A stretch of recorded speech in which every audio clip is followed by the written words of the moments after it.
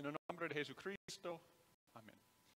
El texto para el sermón para hoy, el ah, domingo de la Santa Trinidad, es la lectura del ah, Evangelio de San Mateo capítulo 28. Hoy nos enfocamos en la Santa Trinidad, en el verdadero Dios. Tres personas en un Dios, Padre, Hijo y el Espíritu Santo. Vemos las personas de la Santa Trinidad en las lecturas hoy. En la primera lectura del libro de Génesis, capítulo 1, dijo Dios, hagamos, hagamos al hombre a nuestra imagen y semejanza. Dijo Dios, hablando de nuestra imagen. Hagamos.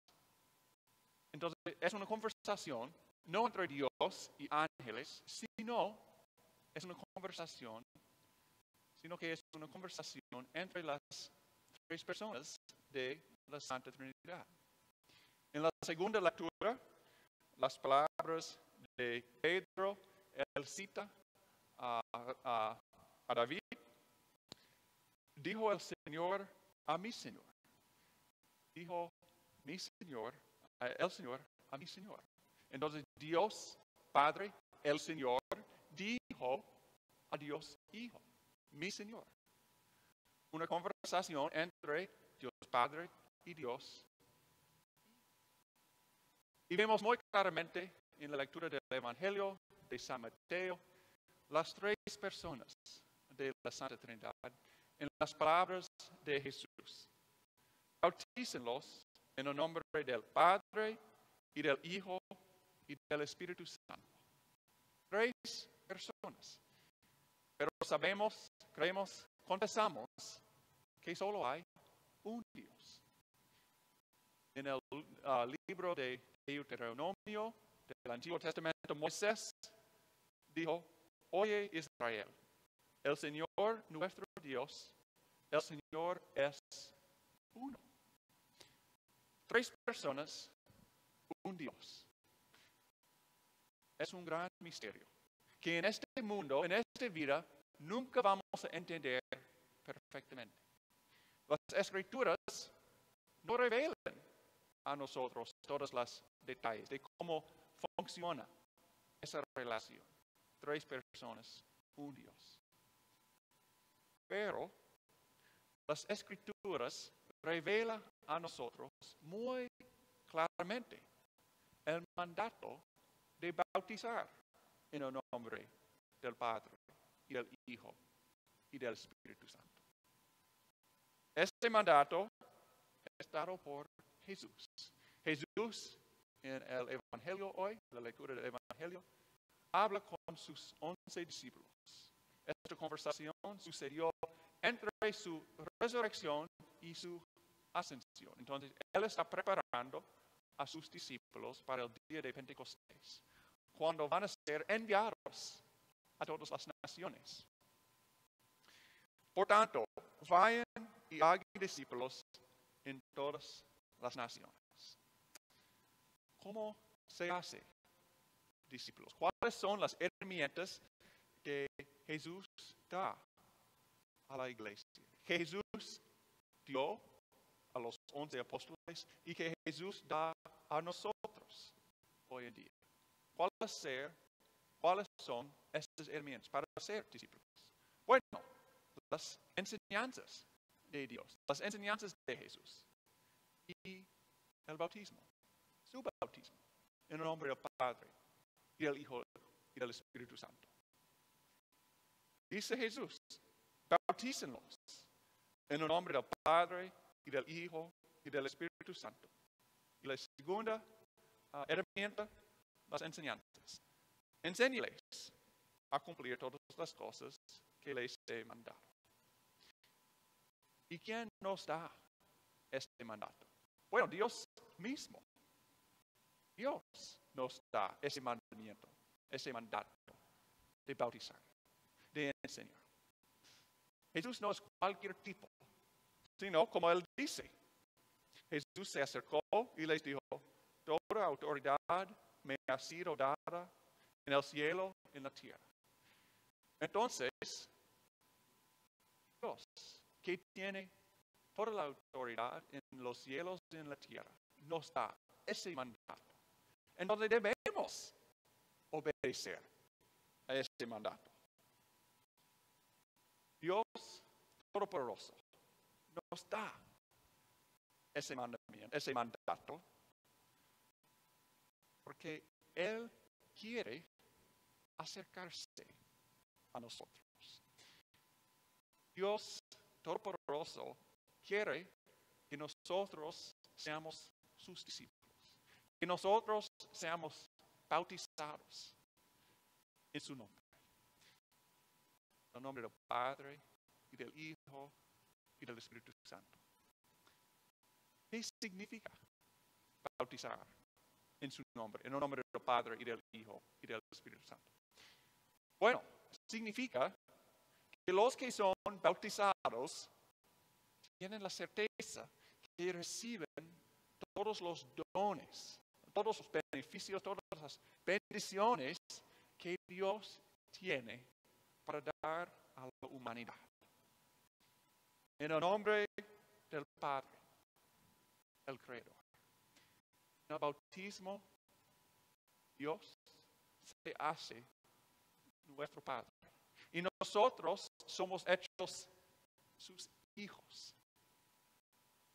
Fuera de ser su discípulo. Nosotros, bueno, Él es un furioso. Y eso no es porque Dios es mal, sino porque nosotros somos pecadores. Cuando nosotros reflexionamos sobre la ley de Dios, los diez mandamientos, vemos las dos tablas de la ley. La primera tabla, el primer mandamiento hasta el tercer, tercer mandamiento, habla de nuestra relación con Dios. Como debemos servir y amar a Dios. La segunda tabla, el cuarto hasta el décimo mandamiento, habla de nuestra relación con nuestros prójimos. Cómo debemos amar y servir a ellos. Pero cuando nosotros comparamos, comparamos, vemos a nuestra vida en comparación con las dos tablas de la ley, vemos que nosotros no siempre amamos a Dios, que nosotros no siempre amamos a nuestros prójimos. Entonces sí, Dios tiene el derecho de castigar a nosotros. Nosotros merecemos morir por nuestros pecados. Pero, como dijo Pedro, San Pedro en su sermón de Pentecostés, bautismo ahora nos salva. El bautismo nos salva del castigo, de la muerte que nosotros merecemos por ser egoístas, por no amar a Dios, por no amar a nuestros prójimos.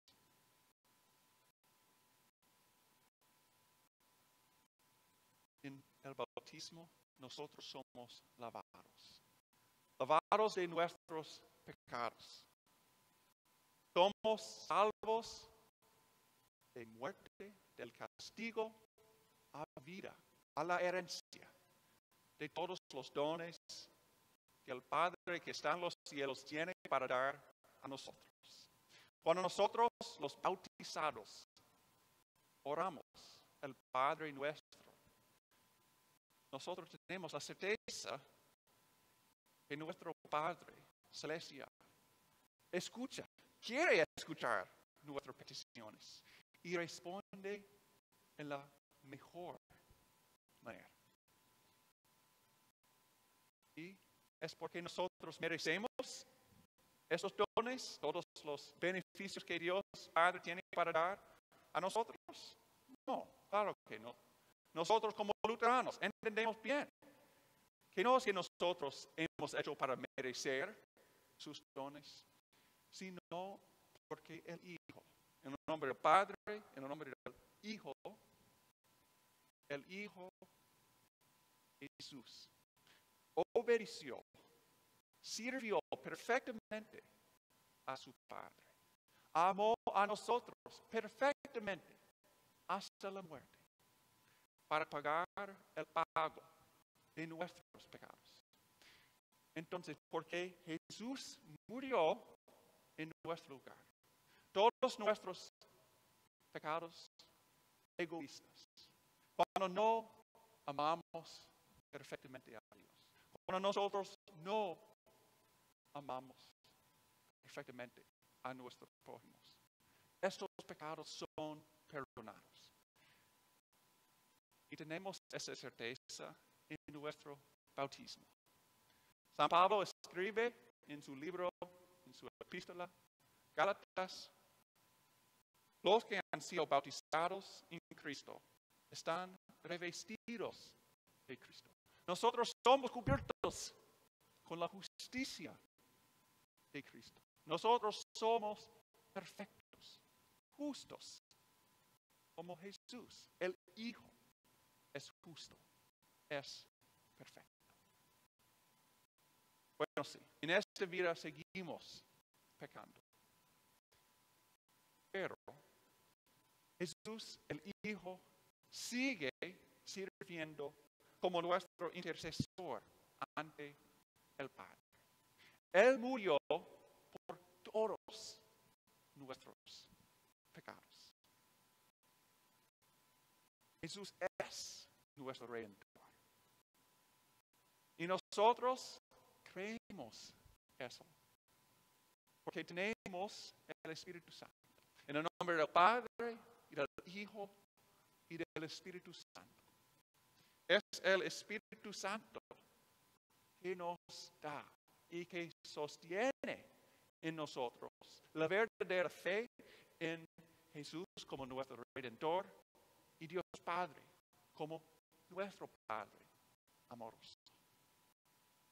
En ese mismo sermón predicado por Pedro en el día de Pentecostés, proclamó, arrepiéntense y bautícense, recibirán el don del Espíritu Santo.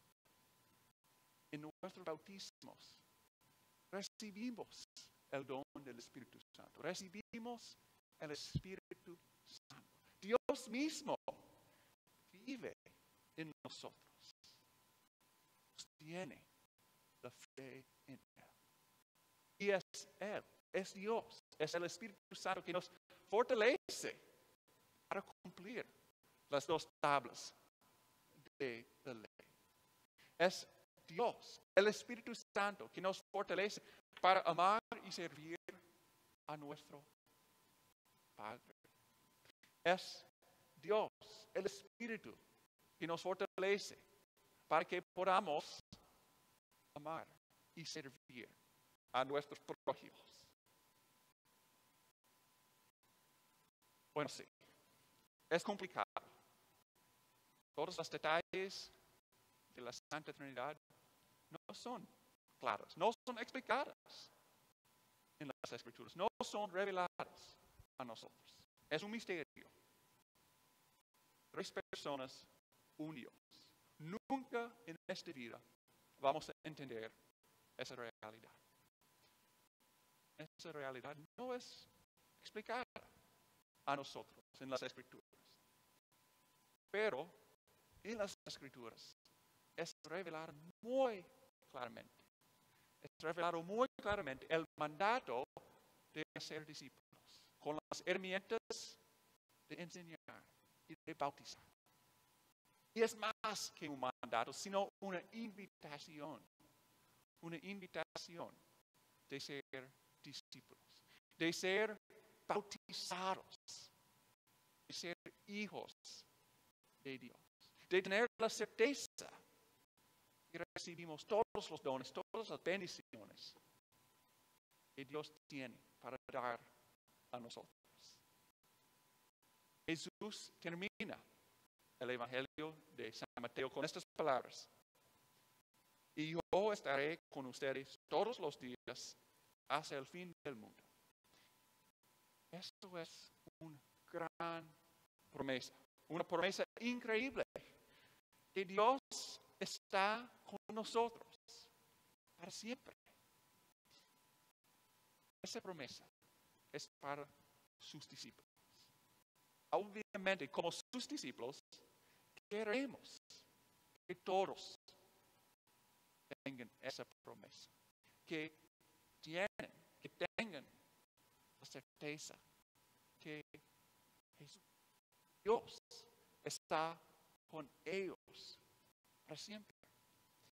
Entonces, no pasemos por alto los dones preciosos, las herramientas preciosas para ser de, de ser discípulos, las enseñanzas de Dios el bautismo.